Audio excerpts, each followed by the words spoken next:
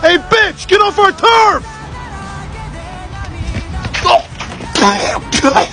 Now what are you hoodlums doing? Get a job! Jobs?